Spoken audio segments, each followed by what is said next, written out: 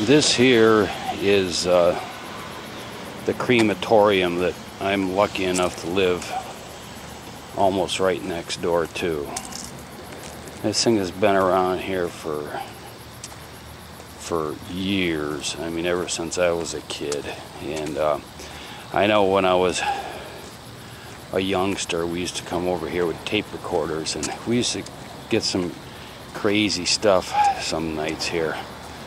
So, me and the guys were getting some equipment together, and on the nights they're burning, we're gonna come over and do a little a little EVP work and stuff. So if anybody has any suggestions on uh, the best way to go about this, you should see that stack up there when they uh,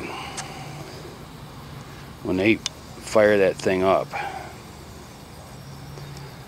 At first, the flames they shoot looks like 30 feet up in the air. They go. Um, it's pretty amazing, especially in the dead of winter Um it's pretty cool. Then the gas lines going in.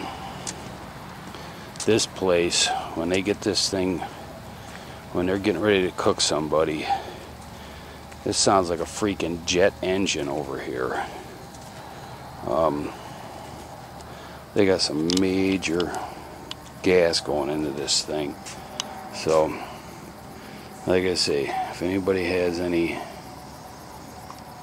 any uh,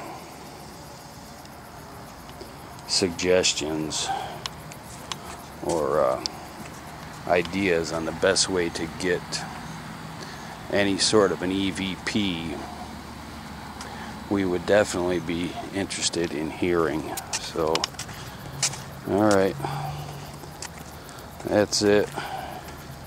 We'll do one more, one more last look at it here.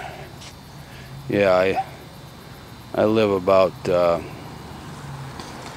well, my house is right here. You can see the lights. So that's where I live. So not very far away. All right, that's it.